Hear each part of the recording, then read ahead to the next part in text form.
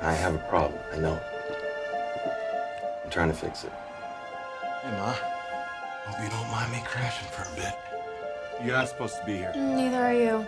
You don't need to see me like this. Where the hell did you come from? Hello? The attic dolls live up the stairs. You'll hear them laugh and run up there. But when you go upstairs to play, they'll be standing still each day. If you turn your back on them, you'll hear them run around again. What happened to your face? And if you get to see them move, that is when they'll come for you. You have to burn them, the dolls. They're evil. You can't hide from, the, attic dolls. They'll watch you from inside the walls. When you try to run from them, that's when the real fun begins.